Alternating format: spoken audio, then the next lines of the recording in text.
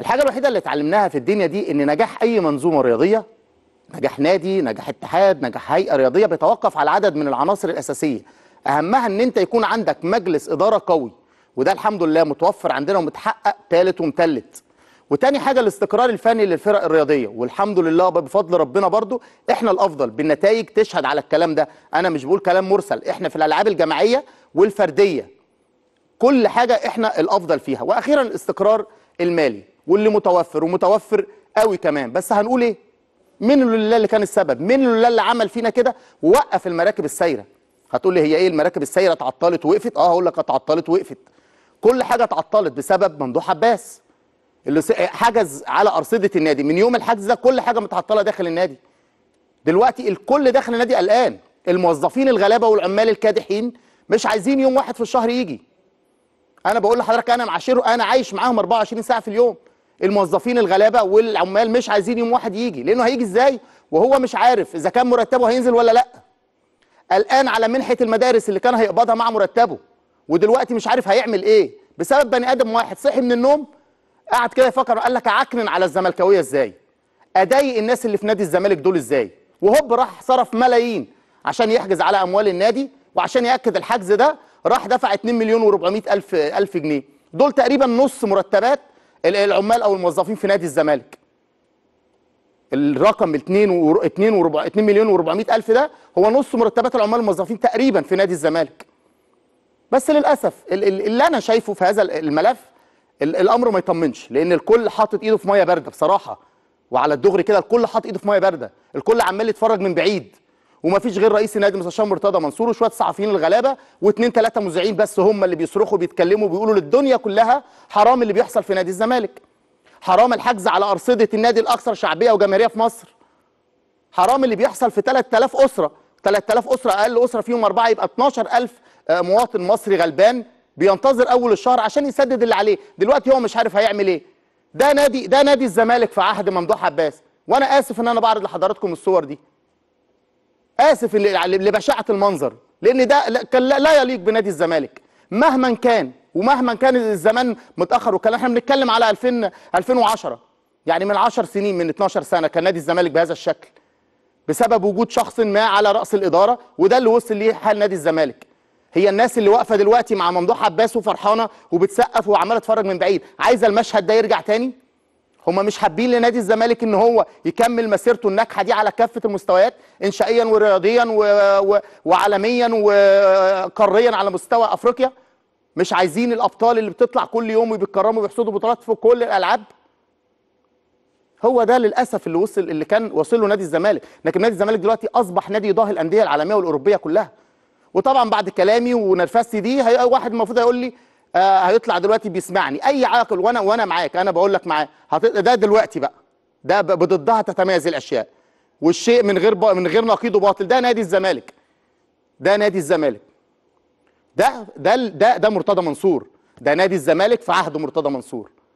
وده اللي إحنا اللي أنا وغيري وغيري بنتكلم عشان يفضل نادي الزمالك كده. وإن شاء الله يوصل لأكبر من كده. إن شاء الله هيفضل أكبر. وكل يوم الراجل عنده فكر وكل يوم بيقدم حاجة جديدة. وعشان تبقى يبقى أبقى واضح مع حضراتكم اللي مرتضى منصور ده بيعمله وهيعمله كل الكلام ده عشان خاطر ربنا عشان هو عنده أمانة ومسؤولية في رقبته. لا بيخاف من حد ولا بيعمل حساب لحد ولا الانتخابات في دماغه. ومثال بسيط جدا أف... يعني أقل مثال حصل الفترة الأخيرة. وطبعا هيكون معانا لقاء آه، كمان دلوقتي عشان نرد على كل اللي شككوا وكل اللي حاولوا يصدروا لنا أزمة في موضوع طبعا أيمن آه، أيمن أمير عبد العزيز. هيبقى معانا لقاء دلوقتي إن شاء الله هتشوفوه بعد قليل. لكن أنا بقول دلوقتي لو أي حد بيسمعني هتقولي ما أنت كل يوم بتطلع تقول لنا ما ما تخافوش على نادي الزمالك ما تقلقوش على نادي الزمالك. طول ما المستشار مرتضى منصور موجود الراجل ده عنده حلول سحرية. أيوه المستشار مرتضى منصور عنده عنده حلول سحرية. وبتقعد تقول لنا عم إنت كريم بيقول لنا وأحمد بيقول لنا وخالد بيقول لنا وكابتن طارق بيقول لنا وكابتن خالد آه، لطيف بيقول لنا ما تقلقوش طول على نادي الزمالك طول ما موجود مرتضى منصور. أنا هرد عليك وأقول لك آه ما تقلقش. ما تقلقش. وآه نادي الزمالك في أمان ومحدش هيقدر يجي جنبه. أو يعطل مسيرته. بس الراجل إيده مغلولة. الراجل عنده فلوس وعنده فلوس كتير بس مش عارف يتصرف بسبب الإجراءات وبسبب الحجز. الراجل يعمل إيه؟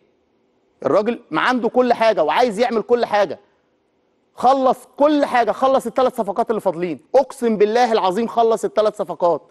ثلاث صفقات وكده بتوع نادي الزمالك رسمي فهمي نظمي خلصوا. فاضل أنديتهم بس اللي خايفين من الحجز على الأرصدة.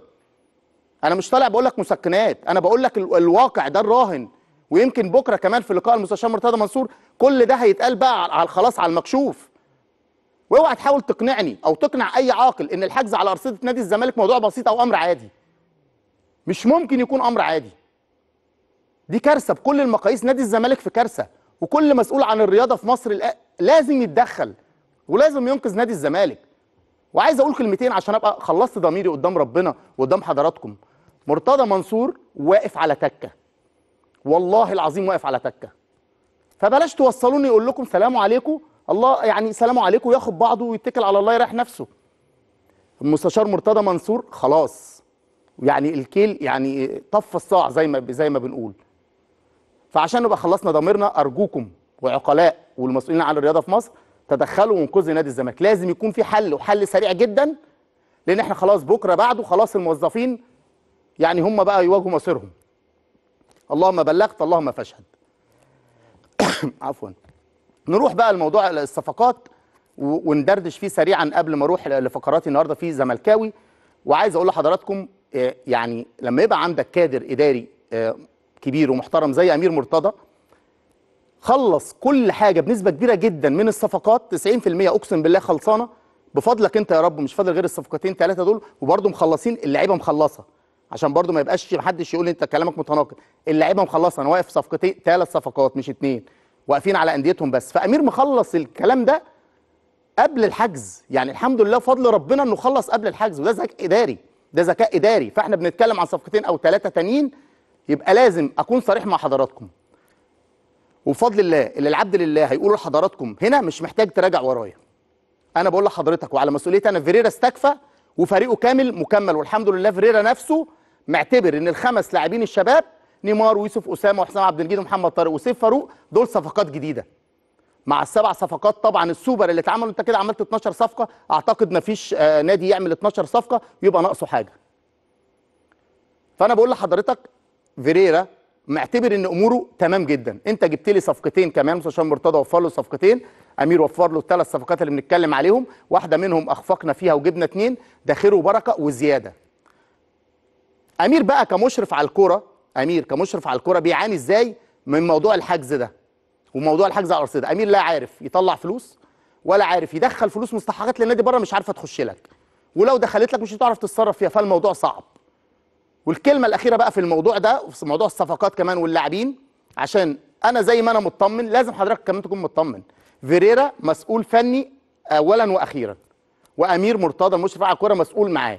حسابنا معاهم أنا وحضرتك نحاسبهم على السكواد ده على الصفقات دي على المطلوب نحاسبهم آخر الموسم. محتاج إيه؟ ناقصه إيه؟ المدرب الأجنبي يا جماعة عشان بس نبقى في الصورة ما بيحبش ال ال ال الكم بيحب الكيف. يعني هو مش عايز كم لعيبة مثلا 35 لاعب وابتدي ادربهم هو أقصى حاجة عنده أقصى حاجة عنده 24 لاعب يدربهم. هم هي كده هم كده ال- المدرب الأجنبي كده.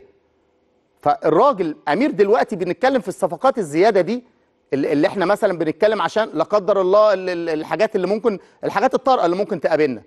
لكن الصفقات خلصانة بس ينزاح الهم الحجز على الأرصدة ده ينزاح عشان نخلص عشان نبتدي يبقى معانا آه، احتياجاتنا والبدلاء وزيادة. اللي جاي زيادة مش واقفين عليه. عايز أقول لحضراتكم آه، كمان قبل يعني ما أختم فقرتي الأولى مع حضراتكم إن إن شاء الله الفترة الجاية بإذنك أنت يا رب بإذنك أنت يا رب هتشهد يعني إن شاء الله انفراجة في أمور كتيرة جدا مؤرقة لبعض وإن شاء الله الوسط الرياضي كله يعود لهدوءه ويعود للسكينة والطمأنينة وترجع الأمور آه، المياه هادية كده والأمور تمشي على سلاسة لأن إن شاء الله آه، داخلين على مرحلة لازم الكل ولازم الهدوء يسود كل آه، الأصعدة وكل ال- ال- الأنشطة وكل ال- الكيانات وكل المؤسسات في بلدنا. ربنا يحفظها يا رب ويكفيها شر أعدائها. يعني إن شاء الله بإذن الله الفترة الجاية بإذنك أنت يا رب بإذن الله وخدوا الكلام ده مني إن شاء الله بإذن الله تشهد يعني حالة من الهدوء وحالة من الاستقرار وحالة من ضبط ال- الجميع وكافة الأمور والمشاكل اللي على الساحة. بس ربنا يكون في عون نادي الزمالك ونقدر إن إحنا نخلص كمان أزمتنا بس مع ممدوح عباس دي والحجز على الأرصدة بتاعه النادي عشان نرجع تاني نركز ونبص في ورق في ورقتنا بس ونبص في شغلنا بس في نادي آه، الزمالك. النهارده في زملكاوي إن شاء الله يشرفنا كابتن وليد صلاح عبد اللطيف في الفقرة الفنية الأولى وختام المسك طبعا مع نجوم وأسود النقد الرياضي أستاذ مصطفى الجويلي رئيس المنظومة الإعلامية في نادي الزمالك والأستاذ صبحي عبد السلام. وطبعا كلنا وأنا أولكم منتظرين غدا بمشيئة الله ظهور المستشار مرتضى منصور مع الإعلامي القدير طبعا وأخونا العزيز كابتن خالد لطيف في حلقة خاصة واستثنائية تحت عنوان المح... المحاكمة الشعبية لكل المتربصين والمتأمرين على نادي الزمالك العظيم.